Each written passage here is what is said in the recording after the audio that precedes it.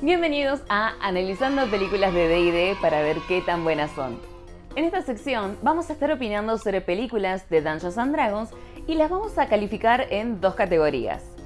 Primero, qué tan buenas son como películas en sí en la escala de 1 a 5 por Eros y segundo, qué tan fieles son a D&D en la escala de 1 a 5 Chesters. Para no perder la costumbre, les recuerdo que este video es mi opinión personal como cinéfila de sillón y jugadora ocasional de D&D. No soy una experta en cine o D&D y tampoco leí las novelas o jugué Dragonlance. Así que, hecho este disclaimer, vamos con el análisis. Dragonlance, El Retorno de los Dragones, es una película oficial con el sellito de aprobación de Wizard of the Coast que salió directo en video en el 2008. Está basada en el manual homónimo de 1984, escrito por Margaret Weiss y Tracy Hickman. En cuanto a la producción, tenía un equipo bastante decente, con gente que trabajó en Spawn, X-Men Evolución, Gárgolas, Teen Titans y otras series copadas por el estilo. También contaba con las voces de Kiefer Sutherland y Lucy Lawless. Con lo que no contaban era con mucho dinero con su relativamente magro presupuesto de 20 millones de dólares, que por cierto es lo mismo que salió a hacer el viaje de Chihiro en el 2001, lograron combinar lo mejor de la animación 2D de la década del 80 con lo peor del CGI de la década del 90. No solo falla todo lo que sea CGI, sino que lo 2D es entrecortada. Las expresiones de los personajes no coinciden con las emociones que están sintiendo y en muchas ocasiones no se sincronizan las voces con el movimiento de la boca. La trama en sí es complicada principalmente porque resumieron un libro de 500 páginas en hora y media. O sea, por algo las pelis del Señor de los Anillos duran 4 horas. En fin, la peli arranca con un dragón rojo siendo atravesado por una lanza. De ahí el nombre, Dragonlance. La sutileza no es algo que vayan a ver mucho en esta, en esta película. Después tenemos un plano del espacio exterior, y acá lo que me llamó más la atención es que el planeta tiene una columna de humo que sale desde un punto minúsculo, pero llega hasta el espacio exterior, desafiando todas las leyes de la física conocidas por el hombre. Y estaba intrigada por saber qué estaba causando semejante incendio, cuando el primer plano cambia a los, digamos, de 20 de una chica. Al parecer la ropa en esta película sigue las mismas reglas que en el anime. La gente está siendo masacrada y esclavizada diestra y siniestra por trasgos. Pero eso no quiebra el espíritu de una moza de taberna que solo se lamenta que no tiene muchos clientes que digamos, digna hija del capitalismo. Un anciano sin nombre, al que voy a llamar Pandalf, le pide sentarse un rato a descansar y a cambio le cuenta el contexto de la película. En el principio estaban los dioses de la luz, que daban cosas buenas, pero Takisis, a no confundir con Tiamat, estaba en contra y Paladine, el dios de los paladines, la derrotó. Las personas empezaron a pedirle a los dioses que hagan más cosas y los dioses dijeron no XD y les tiraron un meteorito en la cara y se borraron. De ahí la columna de humo gigante. Después vemos que Takisis está de nuevo en el planeta y quiere recuperar un cetro capaz de despertar a los dioses de la luz. Así que Lord Berminar decide mandar a su guerrera más fuerte, portadora de grandes de 20, a proteger una ciudadela loca para que no despierten a los dioses. ¿Qué necesidad había de enfocarle los de 20 a la chabona? Pero bueno, la chabona se transforma en un dragón gris y que asumo que debe ser negro y se va volando. Ahora conocemos al protagonista de la película, Tanis Semielfo. Sí, su apellido es semielfo. Es para que no se olviden que el chabón es semielfo. Así que tengan muy presente que este tipo es un semielfo. Es más, es tan semielfo que tiene una oreja de elfo y una oreja de humano, porque así funciona la genética. Él se reencuentra con su amigo enano después de 5 años. El enano se llama Flint Fireforge, que podría traducirse literalmente a Pedernal Fuego Forja, pero le voy a decir Fimley porque suena más apropiado. Fimley y Tennis son atacados por una banda de trasgos, porque es una campaña de rol y el primer pelea siempre es contra trasgos. En medio de la pelea, uno de los tragos le, le escupe la cara y ya no puedo tomar la película en serio. Era... ¿Por, ¿por qué? ¿Con qué, ¿Con qué necesidad lo dibujaron así? At least I'm not a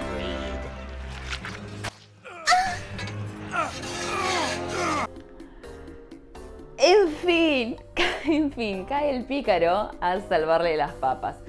Y se van juntos a una taberna. Ahí está el resto de los amigos estereotipados de la party. El caballero que vive por el honor, el mago probablemente maligno y el guerrero tonto pero buen tipo. Solo falta la hermana del mago y del guerrero, que es el interés romántico del protagonista. Acá vemos de nuevo a la camarera del principio, a la que le dicen una de las cosas más creepy que se le pueden decir a una chica joven. Little Tika Whalen, you grew up fast. Para enfatizar el crecimiento de la muchacha, nos muestran los de 20 que obviamente rebotan, porque el target de esta película son adolescentes. El guerrero falla su tirada de voluntad y queda embobado con la camarera por el resto de la película. Pandalf le cuenta una historia de los dioses de la luz a unos nenitos y un tipo que estaba cerca se súper ofende con esto y pide que lo arresten. Otra tipa que estaba ahí salta a defenderlo, la acusan de bruja, el amigo la protege y accidentalmente tira al tipo gritón al fuego. Pandalf le saca el cetro a la tipa, se lo da al pícaro para que golpee al que se prendió fuego y, oh milagro, con eso apaga el fuego y lo cura. Casi instantáneamente caen los tragos a confiscar el cetro. Ocean los alcanzan, sigue una pelea muy mal animada, en la que apoyaron al guerrero varias veces sin que le hagan daño, porque no sangra, no lo curan, ni mencionan en ningún momento que necesite ser curado de las tres puñaladas que recibió. Vuelven a huir, los persiguen, llegan a un río, el pícaro materializa un bote de la nada misma, Fimley se rehúsa a subirse al bote, cambia de opinión, se sube al bote, los tragos le tiran un montón de flechas de fuego y parece que no la cuentan, pero ahí el protagonista le recuerda al mago que es un mago y el mago procede a tirar magia. Mata o deja inconsciente a los tragos y se escapan. Y en el camino, el mago nota que desaparecieron las constelaciones de Takisis y Paladine, cosa que no puede ser muy buena que digamos. Uf, va a los palos la trama. Ya en una cueva logran descansar un poco y se presentan. La rubia se llama Luna Dorada y el compañero es Viento Río. Ella es piola, él es un tremendo racista y odia a los elfos y mucho más a los semielfos. Algo que noté acá es que mientras más dramática la escena, más fuerte sopla el viento. No importa si están en el fondo de una cueva. The staff magically transported us to safety. Only the true gods can grant real healing magic. Maybe this is proof they've returned. Tanis propone que vayan a Haven para pedirle ayuda a los buscadores. No sé quiénes o qué son los buscadores, no los mencionaron antes y no los explican más adelante tampoco. Los que leyeron los libros, por favor, pasen la información en los comentarios. Los malos se enteran que el cetro está cerca de Solaz, así que mandan las tropas de élite a recuperarlo. Después, mientras el mago recupera sus slots de hechizos, descubrimos que Luna Dorada y Viento Río tienen un romance prohibido, porque ella es la hija del líder y él un pastor comunacho. Eh, no lo desarrollan tanto en la película, así que lo podrían haber obviado sin que cambie mucho. La party se cruza con un grupo de inspectores de cetros de curación y preguntan si alguien tiene un cetro de curación. El caballero dice que no, pero la rubia tarada le hace honor al estereotipo y dice que sí lo tiene. ¡Oh, sorpresa! Los bichos grandes de CGI eran dracónidos, la tropa de elite del villano. Tienen otra pelea mal animada que ahora se ve más fea todavía porque el CGI no pega bien con la animación 2D. Ganan la pelea, pero oh, el caballero sin personalidad se está muriendo. Pero tienen la chabona con el cetro de curación y lo cura y listo. Como caen más dracónidos, se meten en el bosque prohibido porque no hay fantasía épica sin un bosque prohibido. En el bosque prohibido hay un ejército de fantasmas que al parecer estaban esperando que llegue alguien con un arma específica para ayudarlos. Así que Aragorn le dice que él es el heredero de Isildur. Momento. A ver. Creo que... Déjame revisar. Porque ejército de fantasmas, ajá, ajá. Y en el bosque prohibido. Ah, no, claro. Mala mía, estaba pensando en el Señor de los Anillos. Acá, el rey fantasma hace un portal para que vayan con un unicornio que les da comida y una quest. Si quieren saber más sobre el cetro loco de curación, tienen que ir a una ciudad en el este y recuperar los discos de Nishakal, unos textos sagrados que contienen la verdad de los dioses. Entiendo que sería como la Biblia de Dragonlance. A Tanis le pega la inseguridad, no sabe si está a la altura de ser un líder. Y bla bla, lucha interna, súper intensa porque el viento sopla re fuerte. Kiefer Sutherland le dice que no le queda otra, así que ajo y agua. Las águilas, perdón, los Pegasos llevan a los héroes volando lo más cerca que pueden de Isengard. Durante todo el trayecto, Finley se queja porque los Pegasos tienen alas, pero siguen siendo caballos. Las no águilas los dejan cerca de la aldea de Luna Dorada. Y ahí ven que está prendida a fuego. O sea, cerca es un término relativo porque hay una llanura, un bosque y dos montañas de por medio. Pero en la escena siguiente están en la aldea, así que debe haber un atajo. La aldea entera fue masacrada y prendida a fuego. No hay nada para hacer, así que siguen camino. Llegan al toque a la ciudad y ven que está habitada por draconianos y enanos gully, una raza estúpida que por razones inexplicables sobrevivió y prosperó en una ciudad en ruinas controlada por un ejército maligno. El mago, que no es para nada maligno, le tira charm a una de estas enanas para que le sirva de guía en la ciudad. Ella los lleva a la guarida de una dragona gris. Creo que la dragona es esta chabona del principio, la que tenía que custodiar la ciudad, pero si lo es, está durmiendo en el trabajo. Súper irresponsable de su parte. El mago le pide a la enana que busque un libro negro y plateado. Y ahí Tania lo encara y le dice, ah, así que vos querías venir acá por interés nomás. Y se ponen a pelear a los gritos adelante de un dragón dormido. Súper inteligente de parte de ambos. El caballero consigue la colección de DVDs que estaban buscando y esto sí despierta a la dragona, que se pone a escupir ácido, así que asumo que tendría que haber sido una dragona negra y no gris. La dragona aplasta al mago y le dice a la rubia que entregue el cetro loco de curación o mata a todos sus amigos. No sé si les diría amigos, porque se conocen hace como un día. Pero bueno, la rubia le parte el cetro en la rodilla a la dragona y esto es suficiente para matar a las dos. El novio culpa a Tanis porque no lo dejó salvarla a tiempo, pero se les cae un edificio encima así que después se hacen amigos. ¿Cómo sobreviven dos personas sin poderes mágicos a que se les derrumbe un edificio encima? Ni idea, pero salen ilesos. La enana le da al mago el libro negro y plateado que él le había pedido, solo que es marrón y dorado, pero el mago no se queja, así que me. Cuando se van de la ciudad, a Tani se le ocurre meterse en un templo a bardear a una diosa de la luz. Y menos mal que lo hizo, porque ahí en el piso está tirada la rubia. ¡Volvió! ¡En forma de clériga!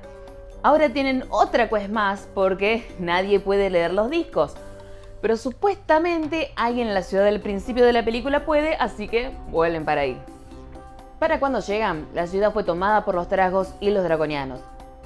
Secuestran a los héroes y los ponen en carretas para que vayan a una mina de esclavos.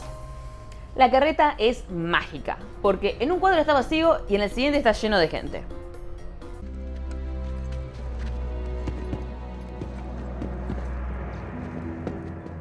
Tecnología de punta para una carreta. Adentro están la moza de taberna, Fandalf y Fégolas, un elfo rubio primo del protagonista. Ok, no se llama Fégolas, pero ustedes entienden. La clériga cura a un amigo de Fégolas y esto va a ser importante más adelante.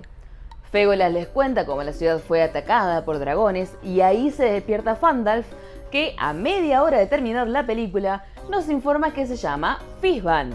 Sí, ese Fisban. Para no perder la costumbre, cuenta más trasfondo. Esta vez explica sobre las Dragonlance, unas armas creadas por los dioses para matar dragones, pero no las vamos a ver en esta película. Las carretas son atacadas por un grupo de elfos y Fandalf usa un hechizo para abrir la cerradura. Ahora bien, el otro mago usa el lenguaje de la magia para castear, pero Fandalf solo necesita decir el nombre del hechizo que tiene que usar. No explican por qué, pero voy a asumir que es porque es Fandalf.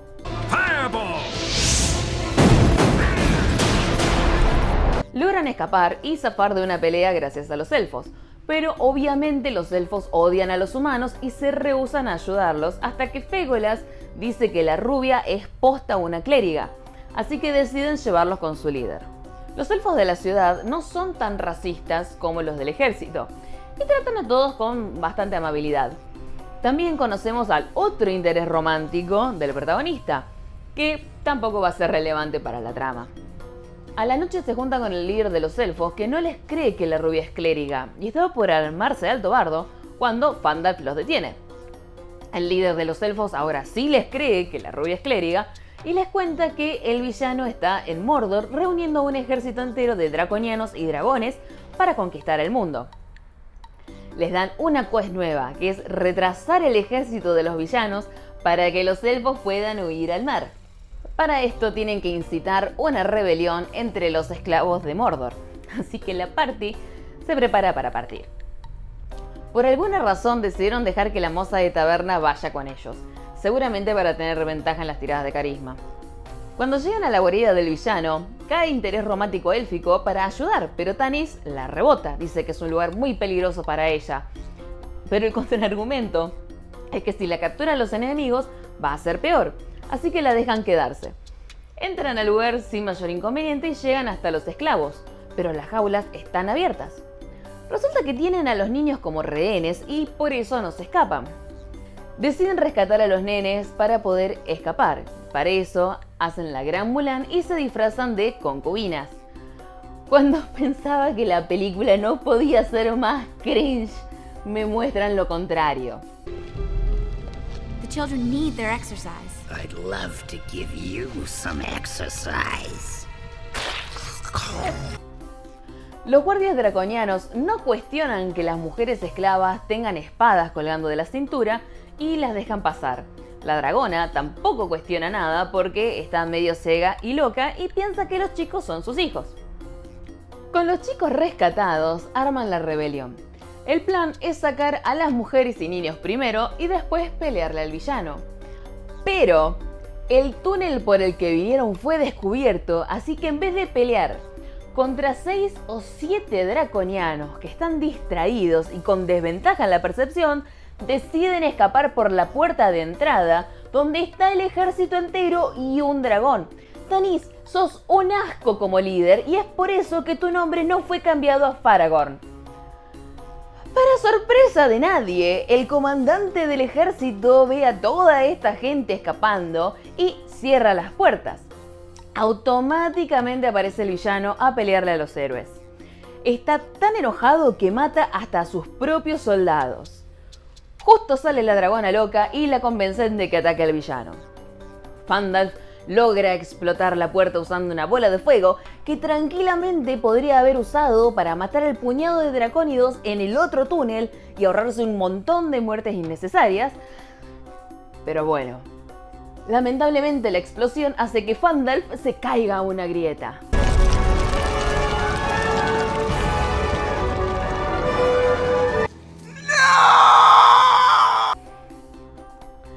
A no preocuparse, porque llena el fondo del agujero con plumas y amortigua la caída.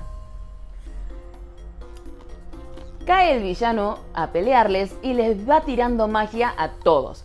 Me gusta que todos los hechizos de él sean visualmente consistentes, le da un toque de color al personaje. Entre Fimley, el guerrero, la elfa y la moza de taberna, logran frenar el ejército de dracónidos, pero no por mucho tiempo. El villano ciega a Tanis y le dice el discurso de eso es un gil, fallaste, ahora todos se mueren por tu culpa. Y el tipo menciona que una profecía que se rompió, pero en ningún momento de la película hasta ahora usaron la palabra profecía. Takesis había dicho al principio que el cetro loco de curación podía despertar a los dioses, pero nunca explica si esto es una profecía o no. Y de serlo ya se cumplió, porque el de Rubia es una clériga de uno de los dioses de la luz. Así que hay algo acá que no me cierra. De nuevo, si leyeron la novela, ¿qué onda con esta profecía? Volviendo. Tanis hace el típico discurso de mi fe es más grande que la tuya. Y a través de él, Fandalf se manifiesta adelante de Takesis y recupera su verdadera forma como Paladin. Acá también se vuelve a repetir que no es posible porque la profecía no se cumplió, pero ni idea. Los dioses pelean y con cada golpe de Paladin se cura uno de los héroes. Takisis, que fue la escuela de villanos de Megatron, huye para ser enfrentada la próxima vez. El villano es derrotado, la dragona loca mata al otro dragón y los dracónidos huyen. La peli termina con el casamiento de la rubia con su novio y la elfa que estaba atrás de Talis ahora está atrás del viejo que salvaron en la cueva, así que final feliz para ella también. El mago, que no puede dejar de estar malhumorado un solo día, dice que esto recién arranca y van a necesitar las Dragon Lances sí o sí. En la última escena vemos al otro interés romántico del protagonista, la hermana del guerrero y el mago, que no apareció en toda la película, y que resulta que la tipa es la señora de los dragones azules. Así que probablemente sea una villana, porque mira cómo sonríe. Esa sonrisa no es de una persona heroica. Claramente apuntaban a hacer tres películas, pero con lo mal que le fue a la primera, no va a haber chance de que eso pase. En síntesis, la peli es mala. No puedo decir si es una buena o mala adaptación, porque de nuevo, no leí las novelas. La trama en sí no está tan mal, pero el ritmo estaba demasiado acelerado. Se toda la influencia del Señor de los Anillos, casi que parecía una parodia. Si hubiese estado mejor animada, tal vez hubiese sido menos peor. Así que, puntajes. Como película en sí se lleva 2 por horas y medio. Es tan mala que cringea, así que le voy a dar mérito por eso. Como película sobre D&D le voy a dar 4 chesters. Eh, no se le esperaban, ¿eh? Pasa que, pese a su baja calidad, es súper fiel al lore de Dragonlance. Incluso respetan el lenguaje arcano que usa Raistlin para castear hechizos. Así que en promedio se lleva un 3.25 quedando empatada con la segunda película de Dungeons and Dragons. Si te gustó el video, déjale un like. La próxima película que vamos a ver es Taco. Es más bien un cortometraje hecho por fans, así que suscríbete al canal para no perdértelo. Y no te olvides que puedes vernos jugar en stream martes, jueves y viernes. Nos vemos en el próximo video.